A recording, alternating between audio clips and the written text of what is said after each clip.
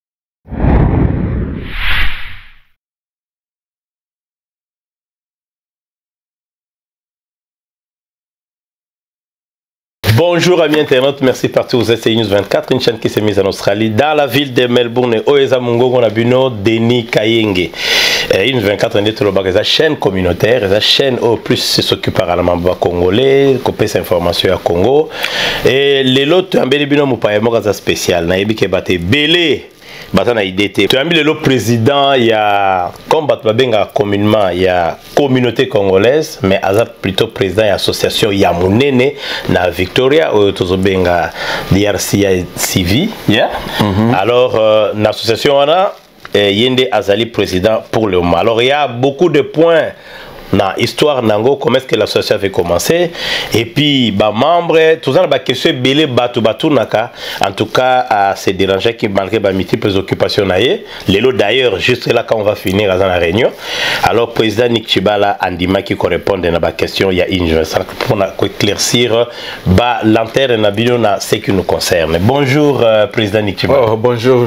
cher ami ah, lelo bea nazwi yo kua do lelo vraiment oye en tout cas merci beaucoup ndenge ondimi korépondre invitation na biso ezalaki motuna ya communauté oza président ya association ya bacongolais oevre longtemps mm -hmm. awa ovandi mpe libanda tro moto ya libanda ya ntongo kua mm -hmm. de ovandi na kati ya association mm -hmm. eh, toyina toyeba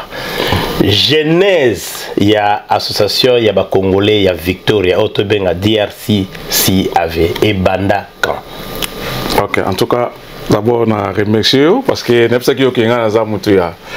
naza moto ya badébat ngai nasala lettre epuis nasali psychologie donc na débat ebangisaka ngai te voilà mais eloko nini tolinga nde eza il faut débat ezala na nzela soki eza na nzela te ekomi ya biloko ya kolokota lokota wana nde ngai nalinga te alors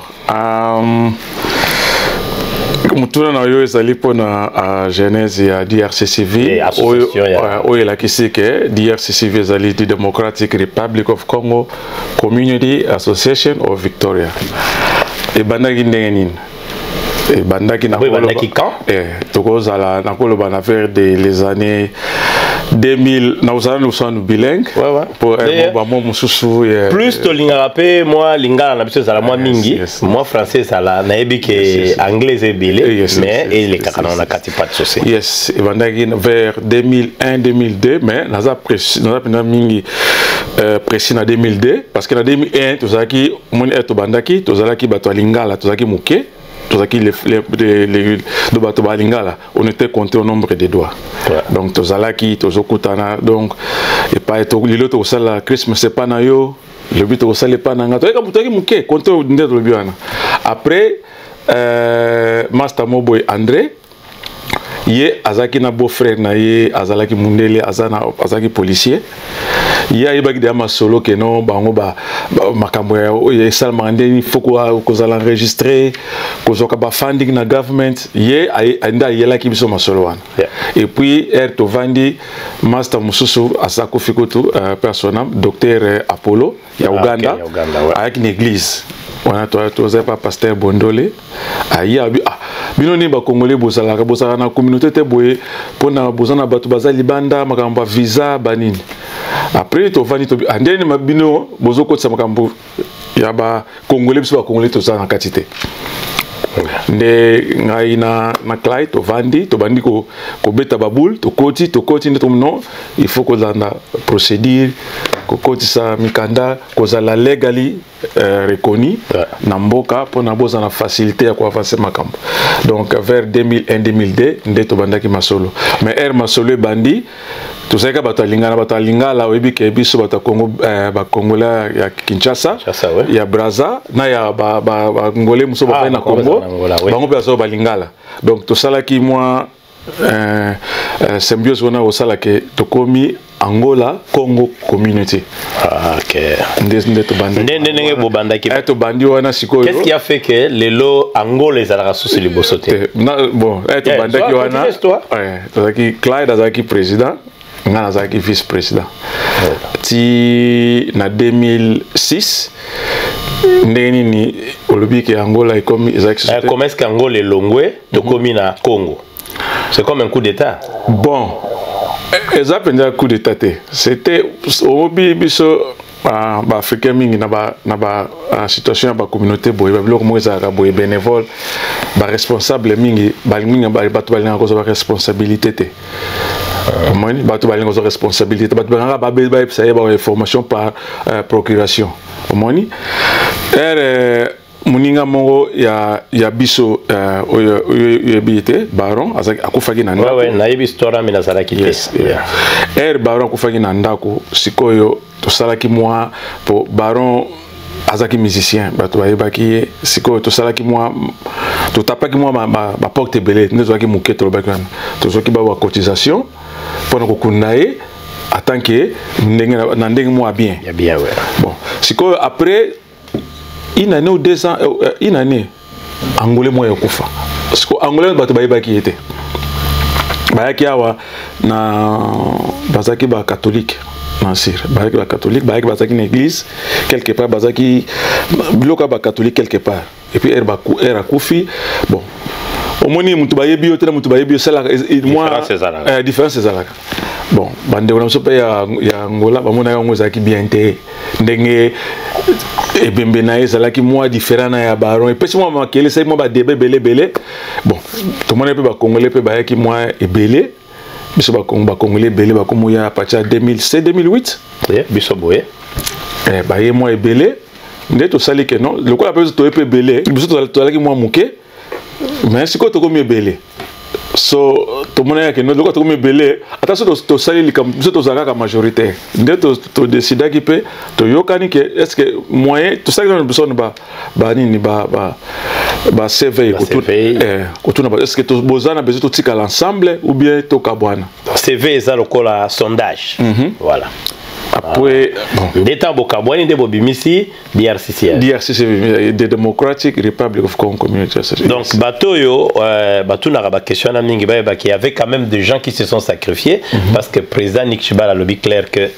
bato balingaka volontariat te wana ekoya soso après mhm. donc bobe bokei mhm. na président claude claude charadi c'est l'actuel euh, président ya euh, ceo ya ama euh, mbote place azali mhm. donc bokei claude charadi akomaki président alio vice président voilà maintenant euh, ne ndenge bokendaki po mm -hmm. question baquestion mingi na kotuna eza ya ngai te mm -hmm. baquestion mingi eza bato bazomituna trop ntango bokei ndenge wana mm -hmm. bozalaki na condition moko bopesaki na bato to ezalaki kaka ke congolais nyonso aza congolais aza d'office membre ya association ya drcc ave non omoni soki bolingi bosala association awa na na uh, victoria yeah. il faut okende otuni consume affairs consume affairs akopesa bino oyo abengaka na anglais module rules donc, euh, donc euh, modèle moko oyo oyo bino bokolanda mais oyo oyo ezali na baréalité na bino mais il faut ezala na lie template wana ya bango ya bango mm. bino bosaka boko boko amande yango na oya bino nde tokendeki tolongwe sikoyo na Angola Congo ezaki enregistré totya yango sikoyo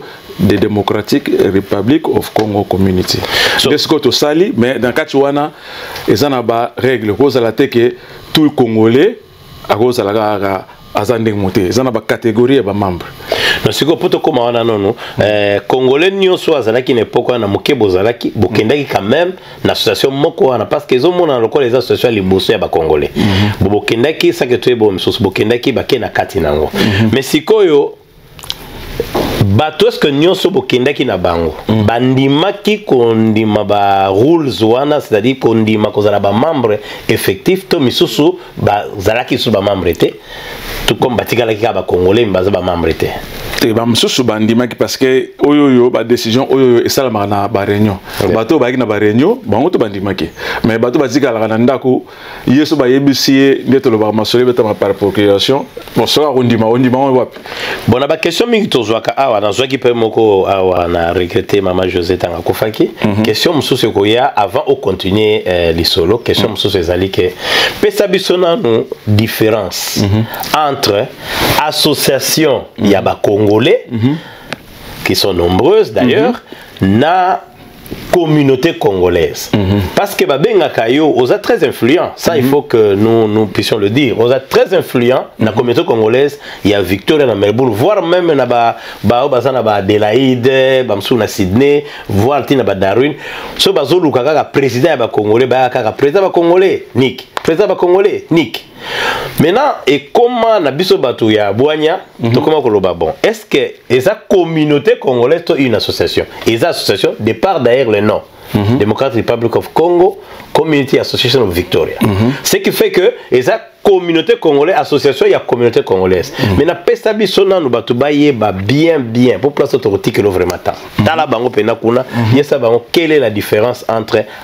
association mm -hmm. na communauté ok bon eza simple hein?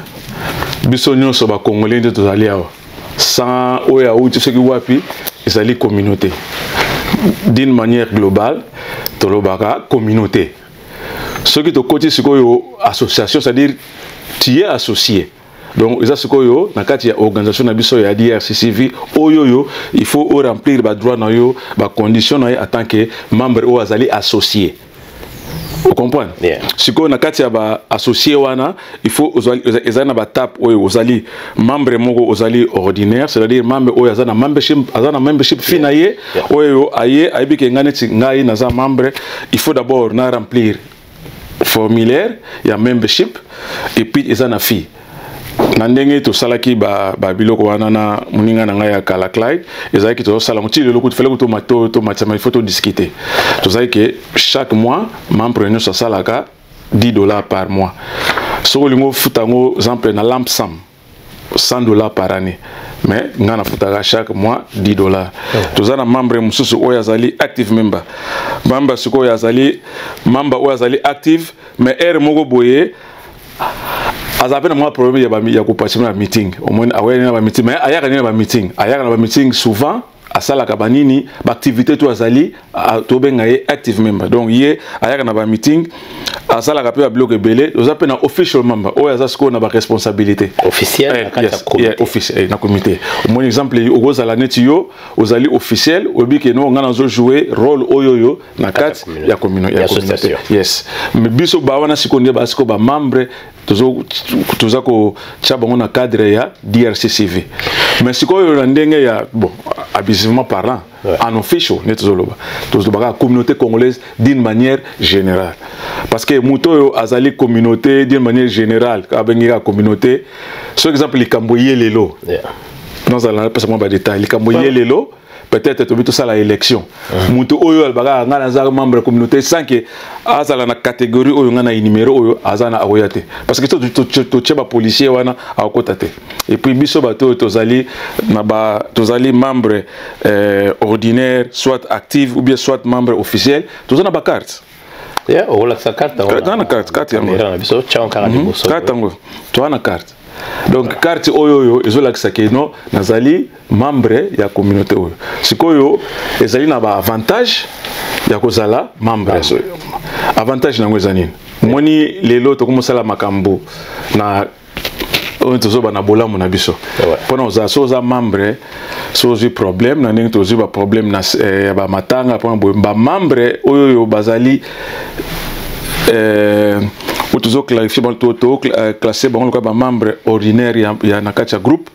toko support bango na ba makambo na bango ya matanga omoni omoni sikoyo lelo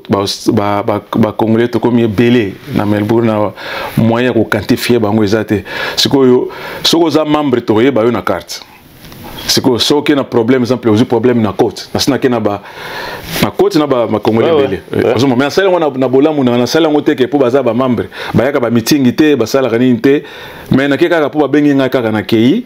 ko aider bango mais normalement na ndenge ya loi il faut na supporter bato oyo baza ba membre seulement seulement mais omoni te que place wana nde pesi bolamu na bino obe bolamu na yo na kati ya communauté obe communauté wana DRCC avait bolamu na bango nde elukeli bango problème toza nango lelo mpo moto akomona yo oke koye namonako ndenge otambolaka tambolaka oke mm. koede awa oede awa komona ekoma influent ce qui fait que bato tu bakomi komona ke oza akante bo nde balobaka na anglais tu es redevable na français na bato nyonso oyo baza bakongole de congolais moko akovanda alobi me neni ye akendeki matanga ya congolais songolo ya ngai yake te donc lelo quand même éclaircissement emonani me mpo na nini okendaka nde tolobaka mosika na mali sati eloko nini esalaka yo otika limite wana ya baassociation na yo mokendaka mosika oyo ede bakongole nyonso bon wana tozo eza stratégie tozwa biso moko mpona omoni soki na kati ya organisation lokola na, na ya biso ya drccv il faut ozala na bastratégie ya koattire bato soki bato sikoyo bamoni ke tozokoa parce que mosala tosala yango eza bénévolat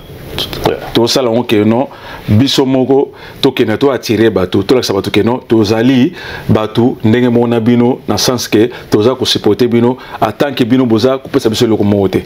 na retour omoni yango tozosala mpo na stratégie koattire bato baya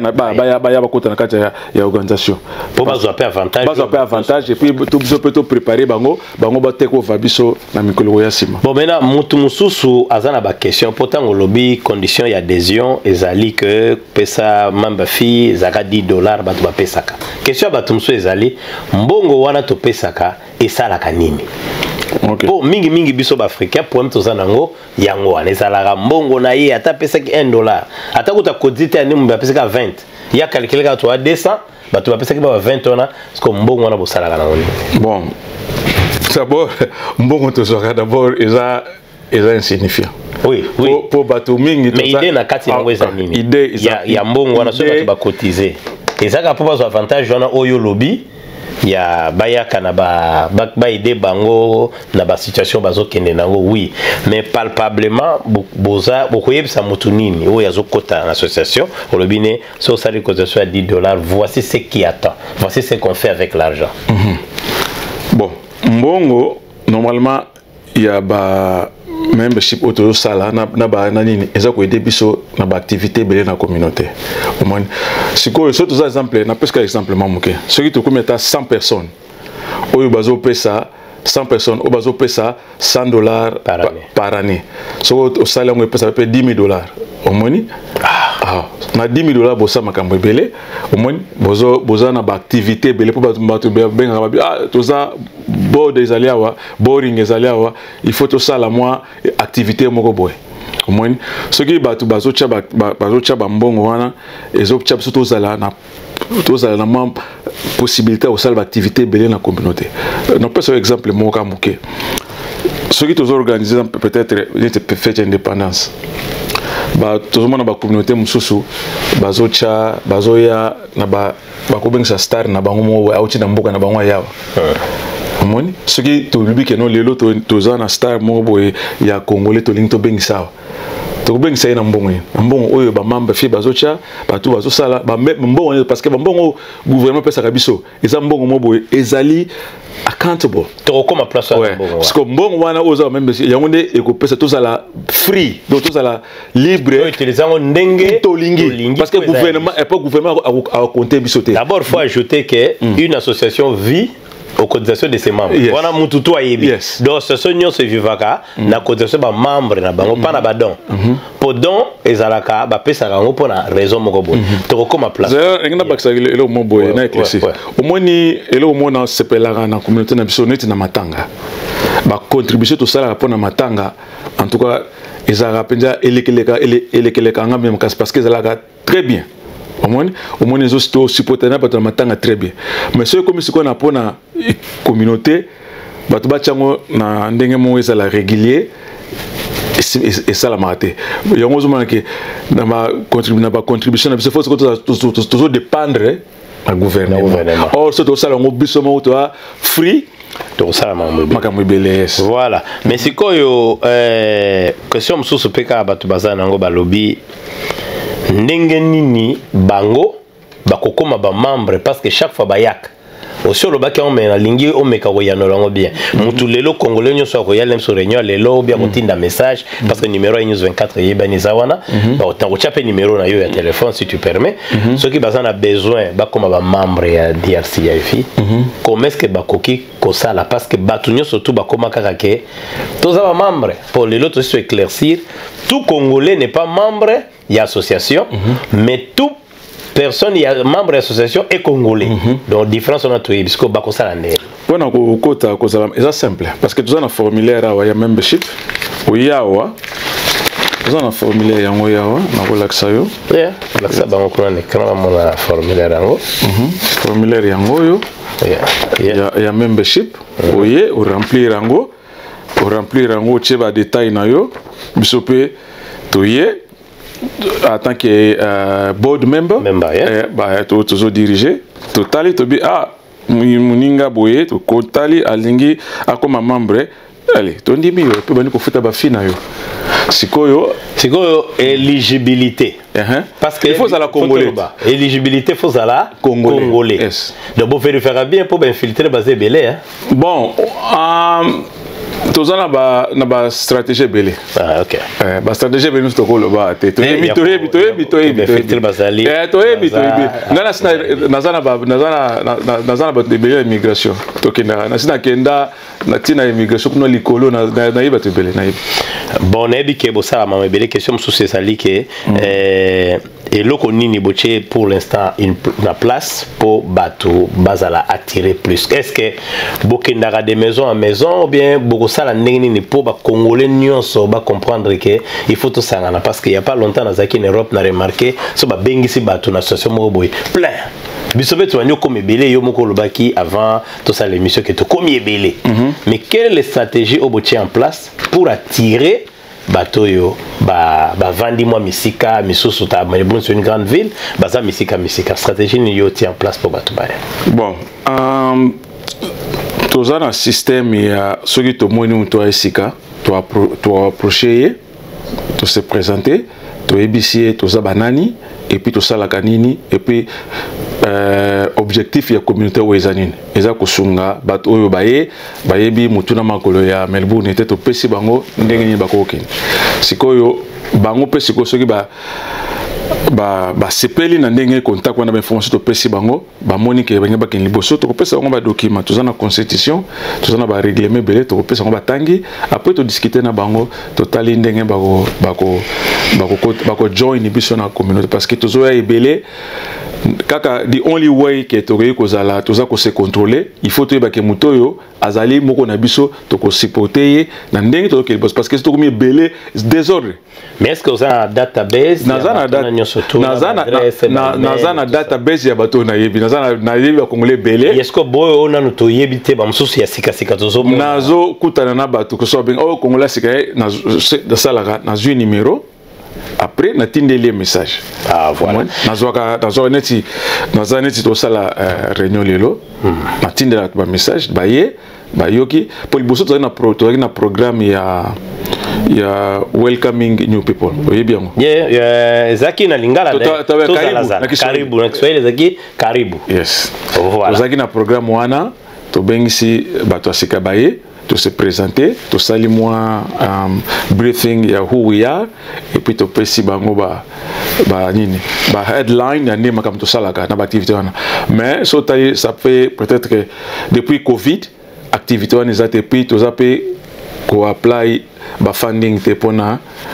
um, programme wana ezala eh, ongoing tozongi biso na makambo ya mbongo mhm. eh, sikoyo toza na parti moko ya bambongo ya gouvernement Mhm. d'abord bakolinga bayeba mhm. bozwaka yango ndenge nini eza kaka oki oteyebi na gouvernement papa apesa biso mwa 10 000 batyeli bino toyeba efonctionnaka comment eza ke soki okei olobi bon nga na niki cibala président bacongolais mhm. mpo nayoki bato mosusu bazoloba ke ah, atangaka nombre ya bacongolais alobi bopesa 100 100 na bacongolais tu sais biso bacongolais tolingi spéculation trop nga naza na chance mingi nazwi premium c'est-à-dire euh, moto ya liboso kaka azwi chance ya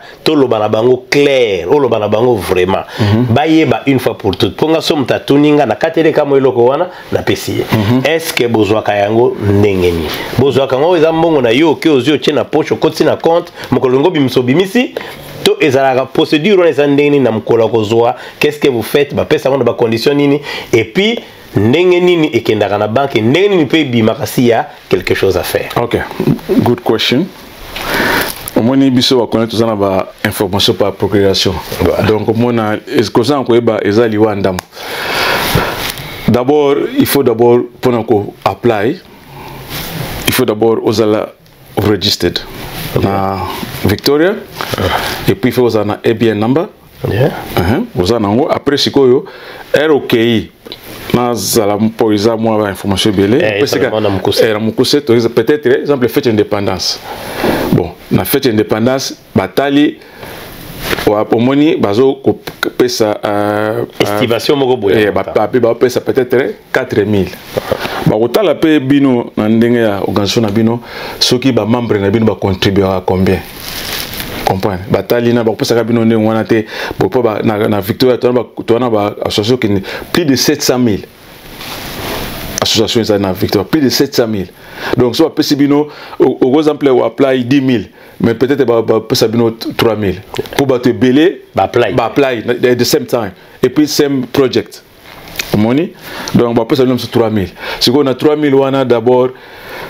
soki osali yango mpo na sikoyo parce que soki osali yango ozongisi bapapier yango accountability report soki osali yango te next year soki osali baopesa te il faut si, report il faut report pour expliquer na batu bien yes il faut report tango ah. na ba récit et accompagner na ba récit c'est-à-dire ce qu'on appelle ça que 3000 vous la c'est que il faut la c'est que non sale na loi qui 1000 facture ngo ou la eh, facture ngo euh food 1000 facture yango drink peut-être euh, 800 yeah, facture yango soki soki etikali 200 il faut ozongisela bango voilà tokomi na point wana po ah. donc eza te ke eza te ke soki ozwi 3000 wana yo kolongola bo parce que e, e, bakokanga yo na facture te po awa faut ko rappeler ke mhm. eh, na Australie mhm. balobi yiba na yo 100000 ya ya ya, ya bambongo na bino boyibaka ya ba compagnie na bino mhm. mais soki oyibi 1 dollar ya taxe oyebi ke okomona bato oyebi ke naza na master moko boye asalaka mosala na bino ya journalisme ya somalie abdura oyebi abdura ah, azalaki atambusa vene boye oyebi ke bakangaki ye ah, voilà pour preuve ah, donc taxe ya leta awa baliaka te ah, ah. maintenant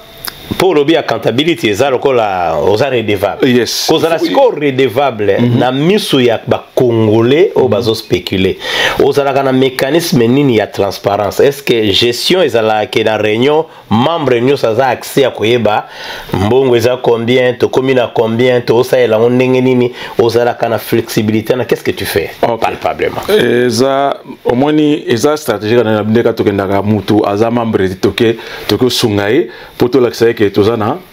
bonne volonté toza mpe na bonne manière ya kosunga bato eza mpe ndenge moko normalement na ndenge ya loi na ndenge ya bateste na biso na ndenge ya batexte na biso ya nini ya atake ya communauté mpo na kopesa motu atala financial situation ou bien bank statement yeah. il faut azala membre ah, voilà. ozomona mais topesaka bato nyonso bata mpo bamona ke eza nango eloko moko ya ya grave te tala mbongo oza mpe victime ya bonne volonté c'est-à-dire bon, nakobenga yango ndenge wana mpo kopesa bato nyonso batala eloko esengeli batala te bakomi kokanisa ke bazali entitled baza na droit ya koquestionne yango or précision ezala yake moto akoquestionne bamembre ya drcrv ou président ya drcrv ezali kaka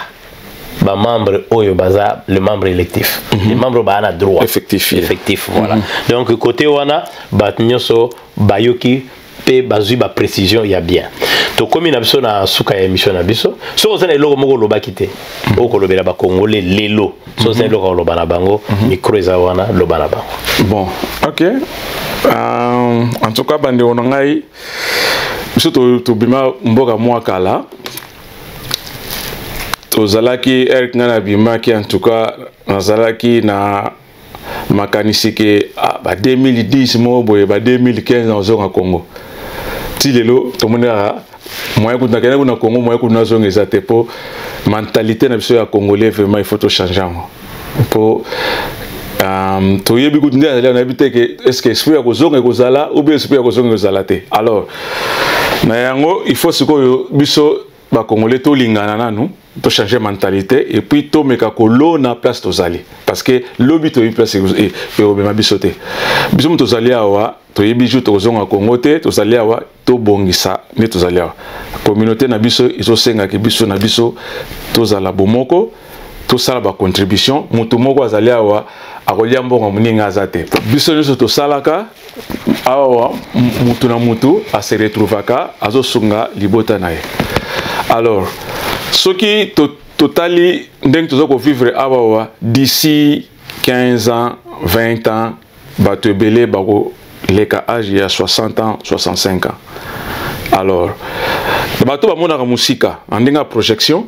il faut sikoyo biso tozali awa toyeba deja ndenge nini tokoki kosala na baprojet ke ndenge nini soki tokómi na mboka oyo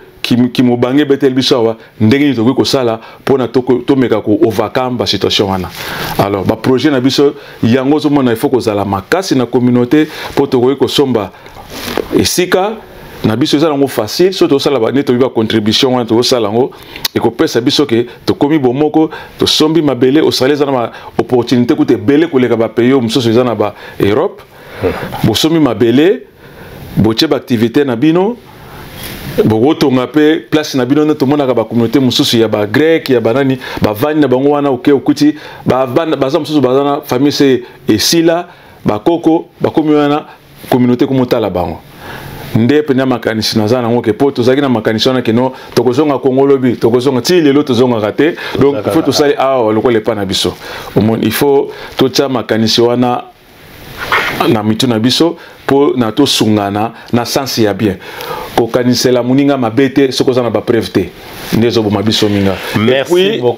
tikali ya suka